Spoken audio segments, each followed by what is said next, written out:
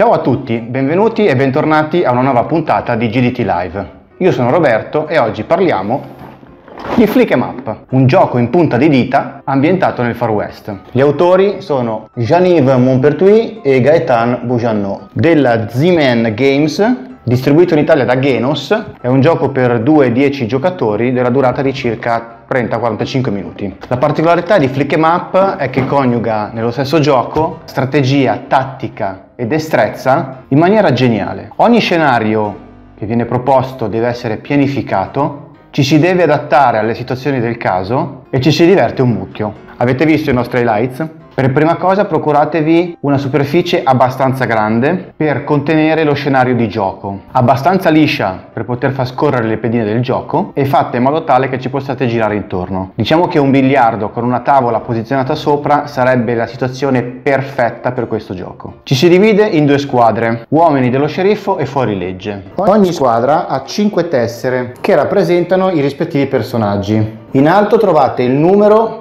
col nome, in basso la pistola, arma di base per tutti, lo spazio per i punti vita e un piccolo inventario con due spazi. Come vedete ogni omino ha un cappello, ogni cappello ha un numero identificativo corrispondente alla tessera personaggio e due colori, rosso e blu. Ora guardiamo l'orologio della città. I colori blu e rosso si alternano ogni ora. Cappelli dei personaggi e ore del giorno sono fondamentali per capire chi ha già giocato e chi no. Se si comincia con un'ora rossa, tutti i cappelli sono girati sul rosso. Il primo cowboy che viene mosso è quello col segnalino primo giocatore e il numero 1. Una volta mosso si gira il cappello a indicare che quel personaggio ha già giocato. Ci si alterna tra le squadre a muovere i propri personaggi sempre seguendo l'ordine numerico. Quando tutti i personaggi hanno il cappello girato, nel nostro caso sul blu, è finito il turno di gioco e si sposta la lancetta dell'orologio avanti di un'ora. A questo punto l'ora diventa blu e scatta un altro turno di gioco. Ogni cowboy può fare solo due azioni a scelta tra muoversi, sparare, prendere, lasciare e scambiare. Queste ultime tre possono essere effettuate solamente all'interno di un edificio. Per muovere un cowboy sostituisce la pedina personaggio col disco movimento e poi si schicchera. Il movimento è considerato un successo se la pedina non tocca nessun elemento dello scenario o altri personaggi. Si sostituisce il cowboy alla pedina e lo si può orientare come si vuole.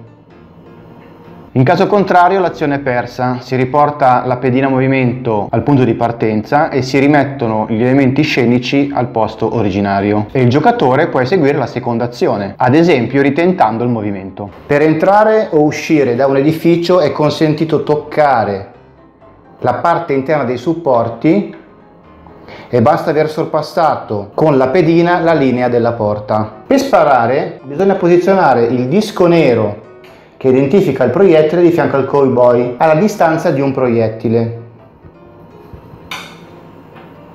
E poi si può schiccherare per colpire gli avversari. Un cowboy è colpito e perde un punto ferita quando il proiettile fa cadere la pedina personaggio.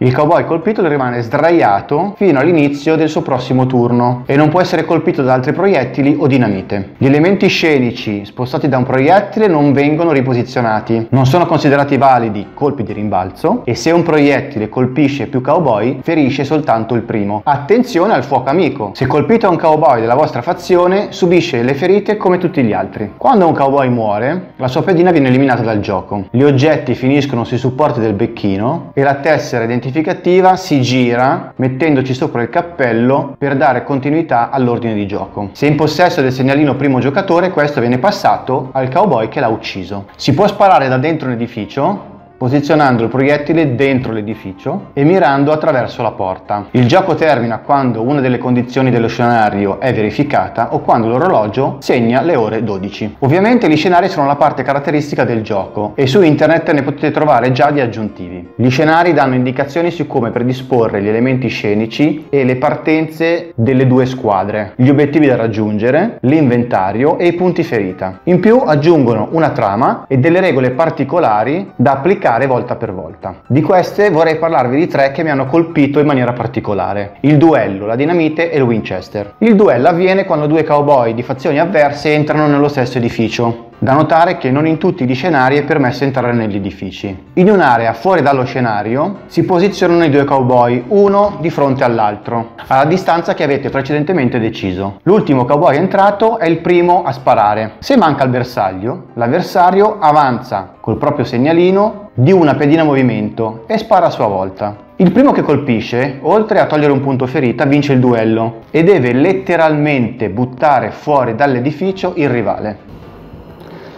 toglie il cappello, lo mette dietro la porta e lo schiccherà fuori.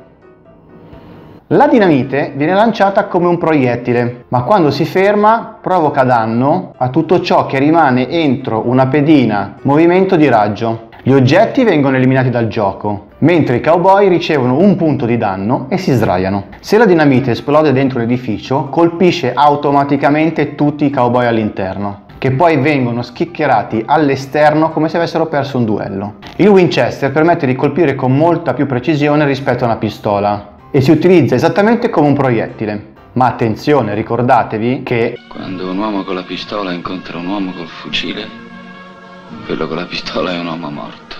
Bene, abbiamo parlato delle regole basilari di Flick em Up. È un gioco molto light e tutto sommato molto veloce, ma spesso vi troverete in squadra a decidere cose come accerchiamo lo sceriffo all'aperto o cerchiamo di chiuderlo nel suo ufficio, puntiamo all'obiettivo direttamente o cerchiamo riparo negli edifici. Tutto ciò condito dall'inesorabile scorrere del tempo che mette un po' di pressione a tutti. A mio parere è un gran bel gioco anche per le famiglie. Genitori contro figli, maschi contro femmine, le regole sono semplici e immediate. Il divertimento e la soddisfazione di buttare giù un avversario magari dall'altra parte del tavolo sono veramente impagabili. Se si stabilisce una strategia iniziale per raggiungere l'obiettivo, è facile avere la necessità di mutuare tra varie tattiche in base alle scelte dell'avversario. L'interazione è totale e coinvolgente e non si assiste a cali di tensione o momenti di noia. La rigiocabilità è altissima e come ho già detto si possono già scaricare scenari da aggiungere a quelli eh, nella scatola. E non mi stupirei se cominciassero a saltare fuori scenari creati dagli utenti, magari basati su fatti realmente accaduti nell'epopea del Far West ad esempio liberamente ispirati da film o fumetti, Tex Willer, Lucky Luke, Ken Parker, non vi dicono niente? La durata contenuta delle partite vi permette di farne anche più di una nell'arco della stessa serata. Per noi è un titolo ottimo e permette di alternare serate impegnative a serate un po' più scanzonate e cacciarone. Avete visto i nostri highlights?